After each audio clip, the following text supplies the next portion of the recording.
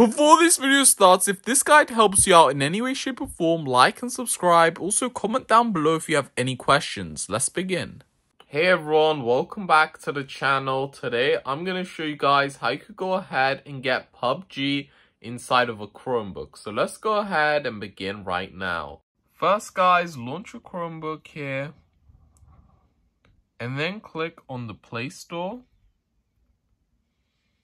And then guys, click over to search right here and type up PUBG. If you guys don't have a Google account, make sure you go ahead and make one. Click on it and then click on install. Okay guys. And click continue.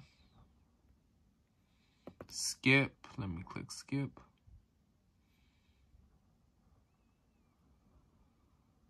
Oh, I have the free space. So let's get rid of this game, this game, this game, and this game. So remove. And PUBG does actually take a lot of uh, space, guys, unfortunately. But yeah, that's how you guys go ahead and download PUBG. As you guys can see, download it right through here.